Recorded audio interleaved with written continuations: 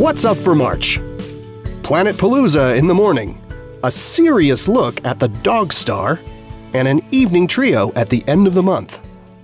If you're up early any morning during March, you'll want to go out and look toward the east to catch a lovely grouping of Mars, Jupiter, and Saturn.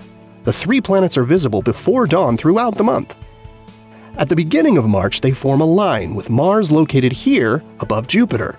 But each morning, as the month goes on, Mars appears to get closer to the giant planets.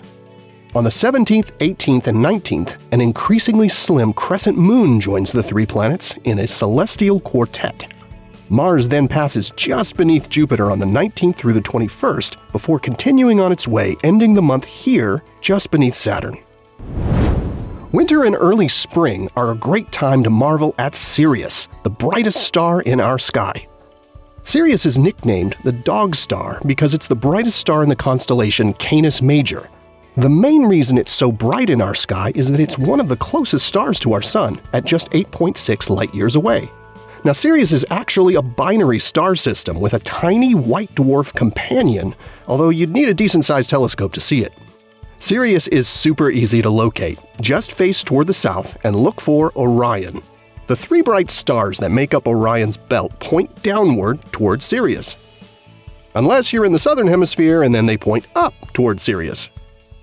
NASA's Voyager 2 spacecraft, which in the past few years has begun exploring interstellar space, is actually headed in the direction of Sirius.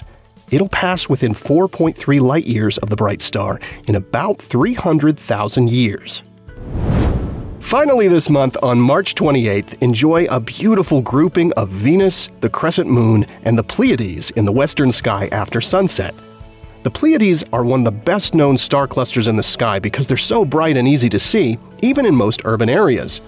Although only a handful of the brightest stars in the cluster are visible to the unaided eye, there are actually hundreds there, and they are dazzling when seen through binoculars or a small telescope. Here are the phases of the moon for March. You can catch up on all of NASA's current and future missions at nasa.gov. I'm Preston Dyches from NASA's Jet Propulsion Laboratory, and that's what's up for this month.